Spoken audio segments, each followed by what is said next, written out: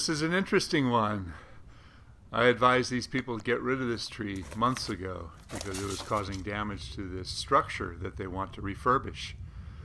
Unfortunately, a neighbor was very, very upset because this tree blocked the view of the water tower as well as giving them some shade in their backyard. And these people didn't want to start a problem. They're brand new to the area, so they decided to leave the tree. The contractors went ahead and resurfaced this building right around the tree, and they actually grouted it right into the building. So it's anybody's guess how long before it causes further damage. Both sides. I've never seen Well, that wasn't the job. The job was to trim this Italian cypress. And the tree, the home was over 100 years old.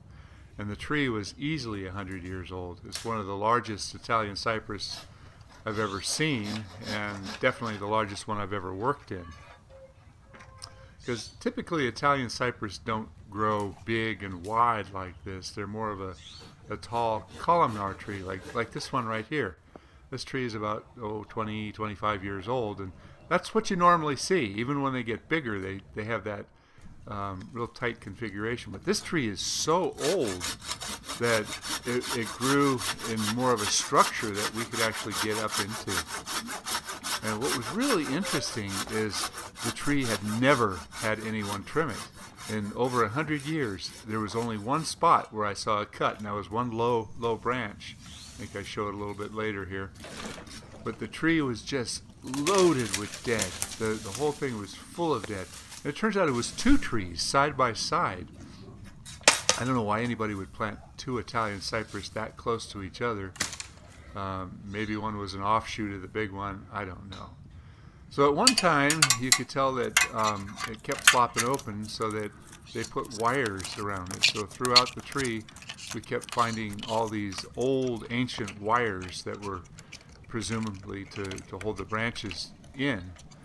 Um, because we were using the chainsaw, we had to get all that wire out of there. You know, it was it was uh, Wire. a hazard. It was an interesting tree to work on because, you know, we really didn't know what we were going to achieve by, by cleaning out all the deadwood. We knew it would look a lot cleaner, but we didn't really know what we were getting ourselves into until we got up in there. And it was a slow job. We, we had uh, three of us were up in the tree at one point, and the rest of the day, um, my son and Jorge got into it, and I ended up doing ground. I think I got the short end of the stick on this job. That was tough work. There, that's the only cut that I could see in the in the whole tree, and I, I'm going to clean it up. But it'd be a mistake to make too big of a cut. So that's about where I should do it. And a lot of people would cut it so that you don't see that that tear. Uh, but but I believe that would be a mistake because that would open a much larger wound that is necessary. So sometimes you have to leave things in trees that are a little bit ugly. So I got out and I had to sharpen one of the saws, and I thought I'd show you something. If you, you can't really see in this, but the chains nowadays have these little marks. They're little angle marks at the bottom of the tooth, and some of these teeth, like that one right there, that one's just a little bit too steep. You want there to be consistency in all the teeth all the way through. So I sharpened it back up and made a huge difference in cutting. This is uh, because it was all dead wood. It was really hard. They actually had a, a surveillance camera mounted to this tree. Felt like our clients were watching us work. so as you can see, um, 99% of all the cuts that we made in this tree were just dead branches. Now, um, a, a cypress tree like this, many, many trees, many of the conifers, you don't want to trim them when it gets hot, and this is the summertime. So um, I wanted to show you this real quick, show you how old it is. It's an ancient tree. I counted well over 100 rings in there. So uh, getting back to the heat of the summer, this tree is very susceptible to uh, pitch canker diseases, a Seiridium canker. It was loaded with little tiny holes from a, a sapsucker, um, and a bird that pokes little holes in it. It's a type of a woodpecker. And the, the tree uh, exhibits lots of pitch, lots of sap that comes out of it. And ideally, the best time of year to work on a tree like this is when it's cold.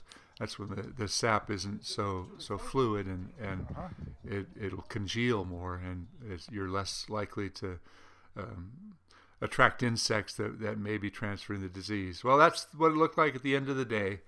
Didn't look a whole lot different, but uh, it, it was. And then I got called out to an emergency. I've got this big Monterey pine, and what happened is it lost a big limb, and when the big limb swung over, it rocked the tree really hard, and there was a crack on the backside of this big tree. So um, I talked to the people. They said that the trunk always leaned, but now it's leaning considerably more.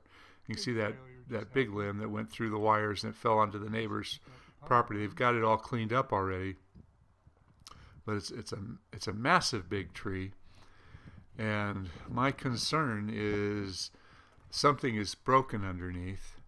So I'm, I'm surmising that enough weight has already been taken off of it that this tree may be reasonably safe to climb, but these things are sketchy.